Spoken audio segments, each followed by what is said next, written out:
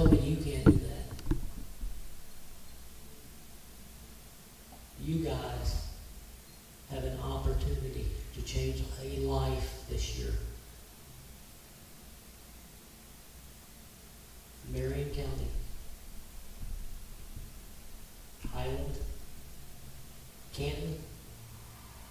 Where else do we have?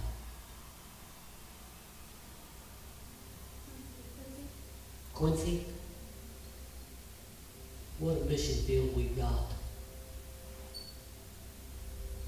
I can tell you right now, those are four schools that I tried to get into when I was doing anti-bullying and they wouldn't let me in. I was refused access in those schools. I had a daughter that went to Quincy. Guys, you have the power to change your life. If you don't think so, look at him. All because somebody read a Bible to him. Let him know that somebody was used by God greatly as a stutterer, and that was Moses, that he could relate to. My first question is Do you know Jesus?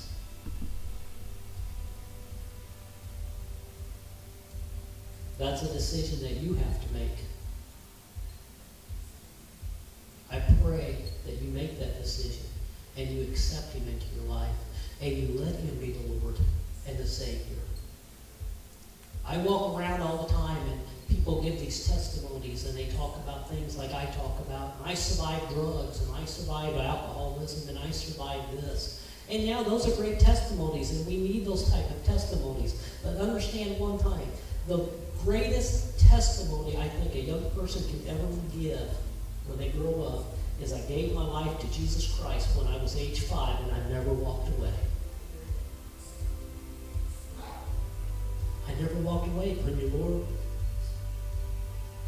I did the test. I walked the walk. My life is all about you guys. It's all about getting people on fire and winning souls. Seeing change broken. I hope that everybody has to encounter the things that I encountered because there's a lot of stories that I can tell you during that 19 years that I shouldn't be here. Stories that I can tell you about how I hurt people. I injured people severely, physically, mentally, emotionally. I still pray that one day my children will want to be with the dad. I have faith and I believe. But I hurt him. I hurt him bad. My son, oldest son, let me be his friend on Facebook. Until one day he said, you know what? I'm not the man that I am because of you. You gave me life and that was it. I let you be my friend on Facebook for a while, but I don't want that anymore. You'll never talk to me again. And he took me off as his friend. And I don't even have that contact with him. I missed his wedding. I missed the birth of my first grandchild. I've hurt people, and I live with that daily. I will strive to do everything I can to win souls. I will take back what I let Satan take away from me. And trust me when I say, he will pay me back a hundredfold because the word says so. So, my challenge to you, as Gabe gave us this morning, and I know some of you didn't get to hear, his challenge for us.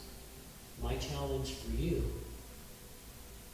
do you want to be on fire for Christ? Do you want to give your life totally 100% unconditionally to Jesus? Do you want to win lives? Because if you do, you're going to have to do the first bold step because it's going to be hard to do that in school. I know it's hard. I know it's hard to talk about Christ when everybody else is making fun of you because they want you to do this. I do it every day at work. I know what it's like to get treated differently and unfairly because I stand for Christ. There's some people at my work that don't like it. There's going to be people at school that won't like it. It will be a test. If you do, you're going to have to make the bold step. You're going to have to stand up. You're going to have to say yes. Come on up let's pray. Let's do something for our schools this year. Will it be you? It's your choice. I won't judge you either way. I'll still love you. I'll still love you. Whether you do or not. My question is, will you? It's up to you now. If you do, come on up. We'll pray. If you don't, it's okay. I won't give up on you. I'll still be praying for you. Because eventually you will. The word never returns void. I know that. Ron knows that. These guys know that. The word of God never returns void. And I've already given it to you. This church has given it to you. So if you do, come on up. If not, will you? Amen? I'm just going to ask the adults, if you will. Let's come up. Let's pray for these young people.